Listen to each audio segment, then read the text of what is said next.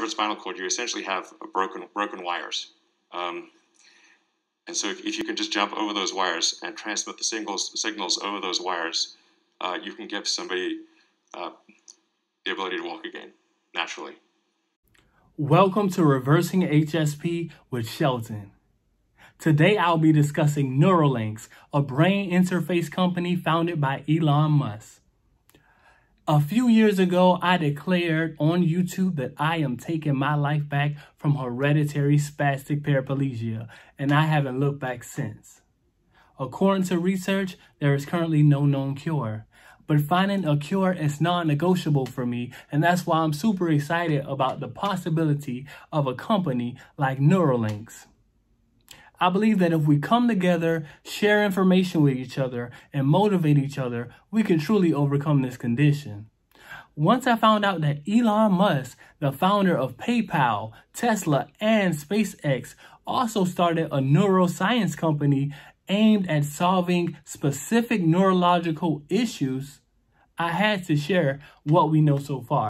Neuralinks recently gave us an update on the company. During this presentation, Elon Musk stated that Neuralinks' goal is to solve important brain and spinal problems with a seamlessly implanted device. Musk discussed some of the health-focused capabilities Neuralinks technology could develop.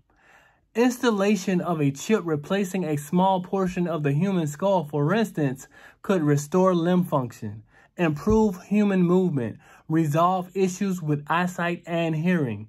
There is also the possibility that implementation of a Neuralink device into a brain could pave the way for hindering brain issues like paralysis, depression, memory loss, etc. During this presentation, they displayed how the device could read brain activity and influence neurons. The surgical procedure would be performed by an advanced surgical robot to ensure optimal precision. This surgery is expected to take less than an hour, same day without general anesthesia. The device is about the size of a large coin. During the presentation, one of the questions was how long before the device would be available. Elon Musk said that they are preparing for their first human implant soon. They are pending required approvals and further safety testing, but they did receive an FDA breakthrough device designation in July. The head neurosurgeon at Neuralink said their first clinical trial will be aimed at people with paraplegia and tetraplegia, so cervical spinal cord injury. They plan to enroll a small number of patients initially. Elon added that long term he was confident that it would be possible to restore somebody's full body motion.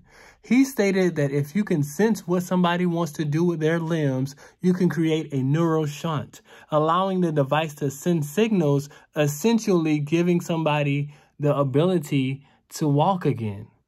In regards to the pricing of the device, Elon Musk believes that the launch price will probably be expensive but will rapidly drop. He thinks it's possible to get it down to a few thousand dollars.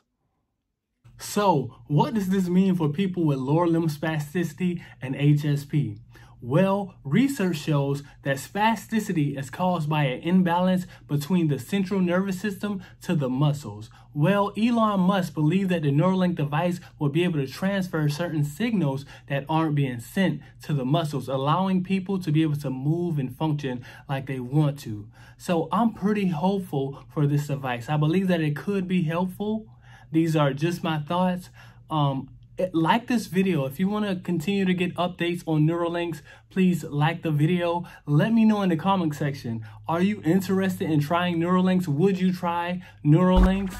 I mean, it sounds like some pretty groundbreaking um, stuff to me. So let me know in the comment section. Like always, continue to believe in yourself.